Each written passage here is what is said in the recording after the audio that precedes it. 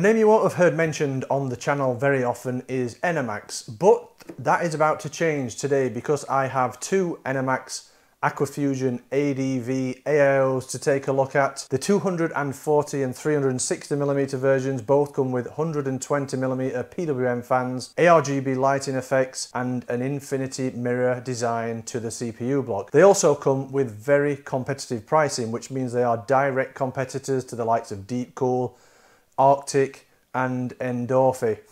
But in terms of performance, how will they compare? Let's take a look.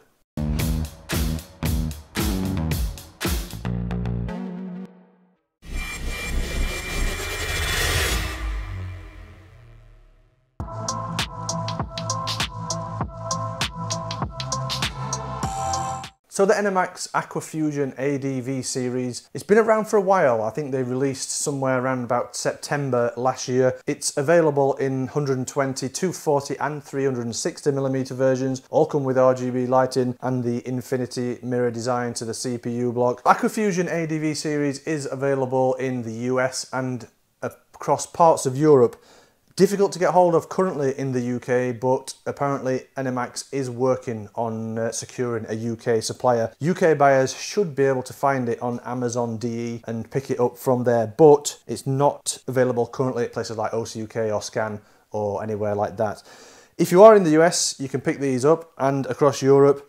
The uh, pricing seems pretty competitive as well. The 120mm version is priced around $79 or 69 euros. The 240 is priced at $99 and 99 euros. And then the flagship 360mm version, that's priced around 119 dollars or 119 euros. So the uh, pricing is competitive and it competes with the likes of Deepcool and Arctic and those other established budget brands. In terms of features of the Aquafusion ADV series, all sizes come with a patented dual chamber water block design that isolates the pump from heat to prolong lifespan, an acrylic pump top with a luminous Aura Belt 3D layer design for unique RGB lighting effects, and SquA RGB fans featuring a vortex frame design to generate stronger air pressure. Aquafusion coolers are compatible with all current desktop platforms from Intel and AMD, including LGA 1700 and AMD AM5 Radiator is manufactured from aluminium. The cold plate is made from copper. Fans have a speed range of 500 to 2000 RPM, PWM controlled, and 5 volt 3 pin ARGB lighting effects. In the box with the cooler, you get all the usual accessories. So things like an Intel mounting backplate, Intel upper mounting brackets, AM4, AM5 mounting brackets. There's a couple of different standoffs for Intel platforms, a bag with long and short fan screws, a bag with the AMD, AM4 and AM5 standoffs, the extension cables or the uh, splitter cables for the PWM fans. There's also a power adapter as well for the fans so if you don't want to power the fans from a motherboard header you can plug it into that and power the fans via SATA. You also get a RGB controller and a good thing with this cooler is you don't need a specific RGB controller with proprietary connections. It uses standard 3-pin 5-volt connections. It's just a simple controller with three different buttons. Uh, a couple of different adapter cables as well for the RGB lighting in case the headers on the motherboard are different. With the cooler on the base plate, there isn't any pre-applied thermal compound, but Enermax does include a small tube of thermal compound inside the box so that should be good hopefully for a couple of installations. You also get obviously the fans. So with the 360mm version there's three fans. These are the Enermax SquA RGB fans. Really strange name. Um, I think it's kind of meant to mean square because of the square shape of the fans but they are called the SquA RGB as I say it's a very strange name. And with the fans you get PWM control, a speed range of 500 to 2000 RPM, two zones of RGB lighting, so this ring around the outside of the fan frame that illuminates with RGB as well as the opaque blade. You notice as well it's quite a small hub on the fan, so the blades are able to be larger and on the back I think there's 13 of these vanes on the back and these are supposed to improve air pressure. The only thing I can see with those is with there being so many they may create extra noise that's unnecessary. Every time the fan blade passes over them, it will create some turbulence and probably some noise. You can also see on the four corners of the fans anti-vibration rubber mounts and the connections on the fans. So the speed connection is 4 pin PWM control and then the uh, RGB lighting connections as I say are standard 3 pin 5 volt connections but they're not a bad looking fan. They are quite square in shape. Speed as I say 500 to 2000 RPM maximum airflow is 79.8 cubic feet per minute. Maximum air pressure is 3.6 millimeters H2O and maximum noise output is 36.2 decibels. So they're the Enermax SquA RGB fans and as I say with the 360mm version you get three of those. With the 240 you get two. We do have two samples of this cooler a 240 and this 360 I'll add the performance data to both but I'm going to concentrate on the 360 for the review and to take a closer look at. So if we take a look at the actual cooler, the radiator, it's a pretty standard aluminium radiator, standard looking, approximately 25 to 27 millimeters thick. There's no fill port as such, I'm guessing under that plug is probably where the radiator is filled. It does have these mounting frames for the fans and they're in almost a glossy finish. It's not quite a glossy finish, but it's not a dull matte finish. It's like a, a glossy satin finish, if you will. And uh, they've got the Enermax logos on both sides there. At the radiator side, the tubing is fixed in position and it's a braided rubber tubing. So it's a rubber tubing with a braided sleeve covering. As we used to say, this was a premium feature, not so much now. This braided sleeving we see on almost every single AIO CPU cooler.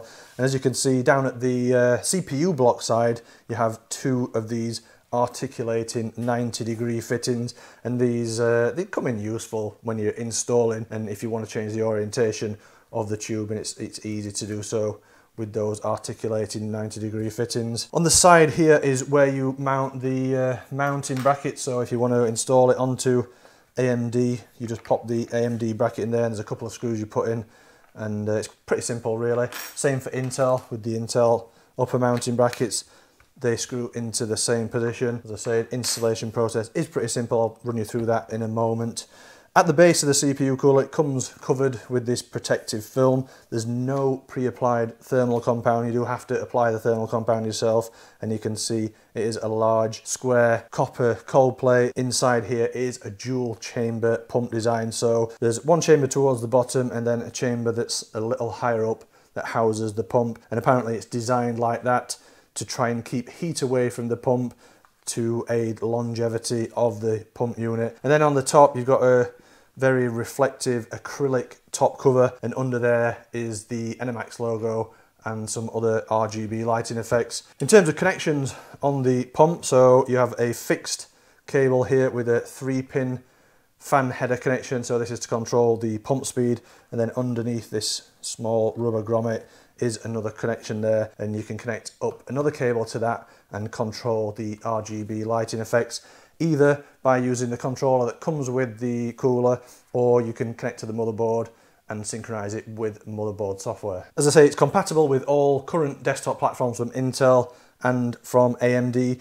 There's no high-end desktop, no Threadripper or anything like that compatibility. In terms of tubing length, which is something I didn't say, the uh, tubing length is 400 millimeters approximately, which is pretty much kind of the standard length you get these days. And it should be enough in mid-tower cases to be able to mount your radiator at the front of the case and have the tubing located at the bottom.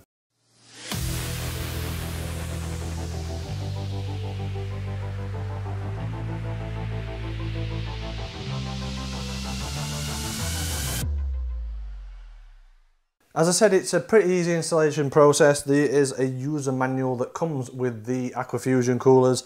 In there, you will find the installation on both Intel and AMD platforms, well documented, it's easy to follow. I'm using an AMD AM5 test system, so I'll quickly run through the AMD AM5 installation process. As you can see, I already have the fans installed to the radiator. Whether you do this at the start of the installation or at the end, will depend on where you locate the radiator in your system and whether you're running push-pull configuration. I've already got the fans installed. It's a basic installation on AM5, so I'll be using the motherboard to control RGB lighting and to control fan speed. So it's just the bare minimum you need for this installation. Obviously, if you want to use a controller, it'll involve a little bit more wiring. But for the bare minimum installation, you'll obviously need the cooler.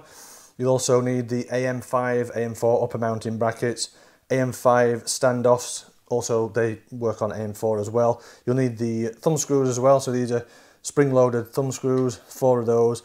You'll also need four of these little countersunk screws which hold the AM5 bracket in place and you'll also need the uh, RGB cable. It goes from the pump housing to the motherboard and also you will need the fan splitter cable as well. So as I say, fans are installed. I know I'm going to be using the motherboard lighting so I just pop the little rubber grommet off and uh, connect up this RGB extension cable. So that just plugs it in directly to the pump unit there. Then you've just got two wires coming from the CPU block. You'll then need to screw the AM5 upper mounting brackets in position. So I'll just pop them in place there. And then just screw two of the small countersink screws in place. And do it the same thing for the other side. That's all the preparation really for the block, but obviously one thing that you don't want to forget is removal of this protective piece of plastic. So that needs to be removed. And as you can see, there's no pre-applied thermal compound, so we'll need to apply some thermal compound to the CPU. The only difference between the AMD installation and the Intel installation is the uh, backplate. With AMD, you don't need to put any backplate on, it uses the stock AM4 AM5 backplate, but with Intel, you will have to prepare the backplate as well. So just remove the stock upper mounting brackets for AM5 and then screw the AM5 standoffs in position. Once those are in place you can apply some thermal paste to the CPU.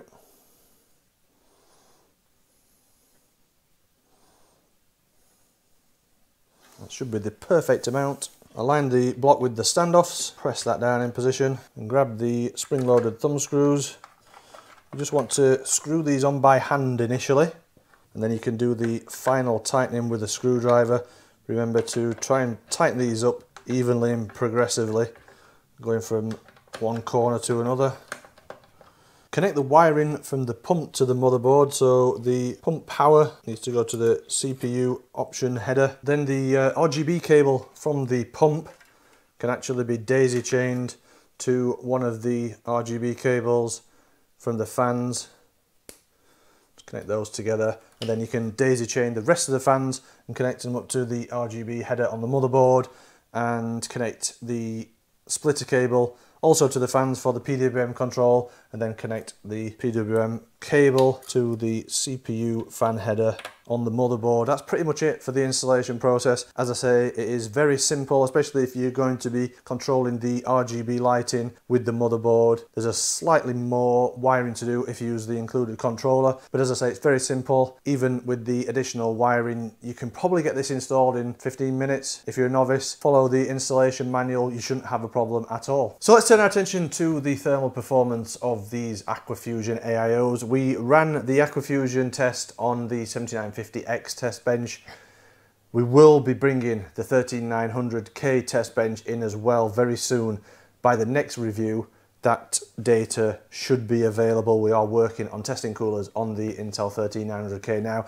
If you want to check out the full testing methodology, make sure you head over to kitguru.net. The full written review is on there, all the information is there make sure you check that out. Let's start by looking at noise output as this will give us a good indication of performance based on noise. With fans running at maximum RPM, the Aquafusion coolers are loud. At 100% duty cycle, the Gigabyte BIOS reported a maximum fan speed of 2000 RPM. At 53 decibels output, the 360mm Aquafusion is bordering on noise output that is very distracting. With one less fan, the 240mm has a marginally lower output, but at 51 decibels, it is still very loud for a 240mm unit. With the fans operating at maximum RPM, the 360 Aquafusion produces mid-range performance. Other coolers in a similar price range, such as the Deepcool LT720, Endorfy Navis F360, and the Arctic Liquid Freezer 2, all outperform the Aquafusion. But it still performs on par with some other more expensive 360mm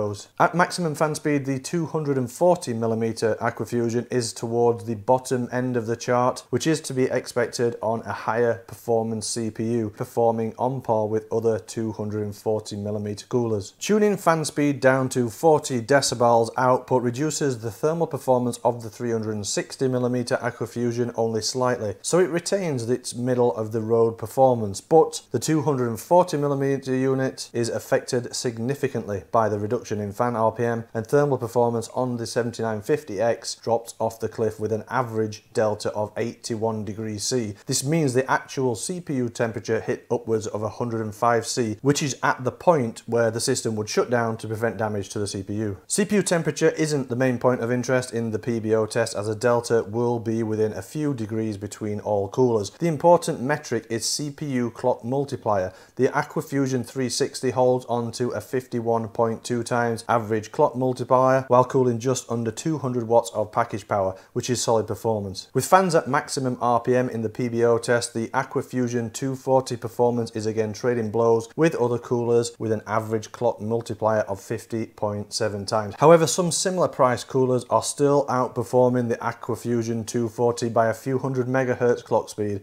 which means more CPU performance. So the Aquafusion thermal performance is it's okay. The 360mm version is performing on par with some other 360mm AIOs, which is good. It's okay to use it on a high power CPU like the 7950X or the equivalent powered Intel CPU, so we don't need to worry too much about the thermal performance of the 360. However, there are other CPU coolers that are similar price to this that do offer a bit better performance. So if you are in the market for a 360 and you are looking to be efficient with your spending, then it might be worth shopping around a little. In terms of looks, it's not a bad looking CPU cooler. The RGB lighting effects on the fans are pretty decent. There is some light bleed from the fan hubs, but we see that a lot, especially on the lower end and the cheaper coolers. But installing the CPU block and configuring the cooler is easy. RGB lighting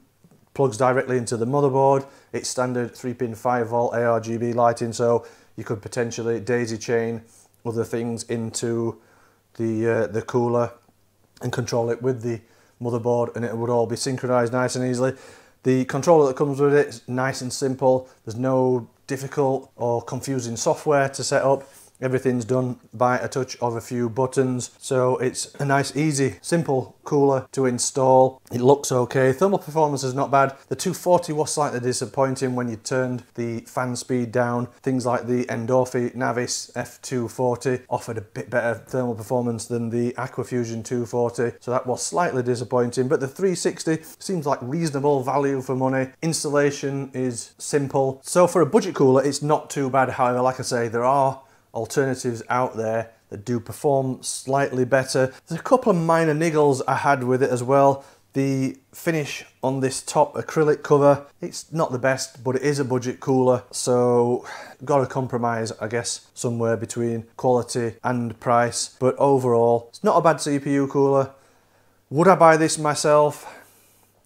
Possibly, if RGB lighting was the main theme of the system, but if I was looking performance and lower noise levels, I'd probably not choose this over something like the Endorfy Navis F360 or the Arctic Liquid Freezer 2. But if you want RGB lighting effects that are easy to synchronize with the motherboard and easy to control, then it might be worth thinking about. Thanks for watching this review of the Enermax Aquafusion ADV series AIOs. Let us know what you think of these coolers in the comment section. Is this something you'd buy for your own system or a build you've got coming up in the future? If you've enjoyed watching this review, don't forget to give us a thumbs up and subscribe to the channel if you've not already done so. If you enjoy what we do here at Kit Guru and you want to help support us, head over to the store, pick up some of our merch, or you could even subscribe to our Patreon. And as always, if you want to catch up on all the in-depth technical reviews, head over to the website.